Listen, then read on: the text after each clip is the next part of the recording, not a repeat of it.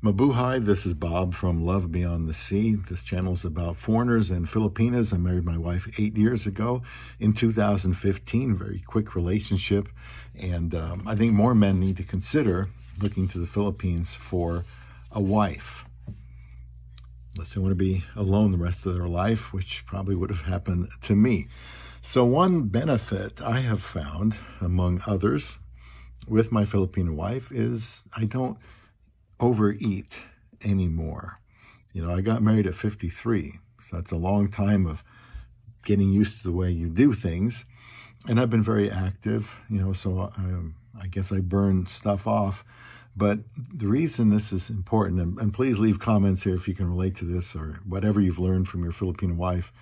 When I went to meet her the very first time, after talking for just a few weeks on online, uh, of course, you're eating with the family, and the family is excited to host you and and make rice and uh, whatever kind of meat they had. Um, maybe it was hash, maybe uh, you know fruits, and um, you know chicken a lot of time.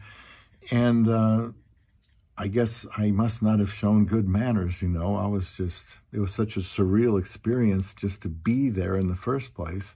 So I just ate. And of course, if they said, um, would you like some more, sir? Well, yeah, sure. I got, I got plenty of room. So I'd eat and, you know, and then one day before I left, she said, um, hon, you eat more than my whole family. I eat more than the whole family. Well, maybe I need to discipline the way I eat, but can you relate to that with your Filipina? She's probably smaller and in general doesn't eat as much as you do, of course, and probably doesn't eat as much as other women in America. But that was my first experience. So I've been much more careful since then. Now at home, I remind myself to eat what I need. That's better for me. If I'm not going to have a very active day, there's no reason to be eating just because I ate a certain amount yesterday. And so that you know, talking like that to myself, you know, is something that is, I have needed to stop overeating. If you're in training for something, you might need to eat more. I'm sure you will. But it's just eating and adjusting for the activity level, learning about what foods do, like overeating foods with a lot of sugar. It's easy to overeat bad food, processed food, than it is to overeat good healthy food. For example, meat. That's beef, chicken, turkey.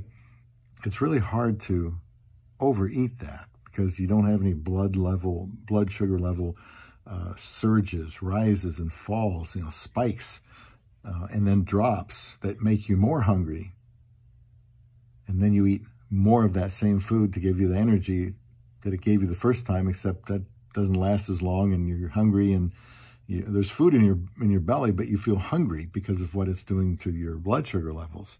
So eating more sensibly, I really don't eat fast food anymore.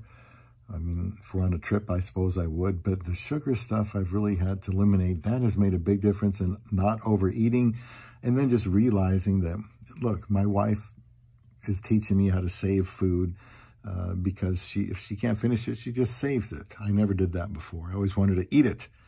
But I do try to restrain my appetite better these days with food. So um, even though I am older now, I'm still learning from my love beyond the sea.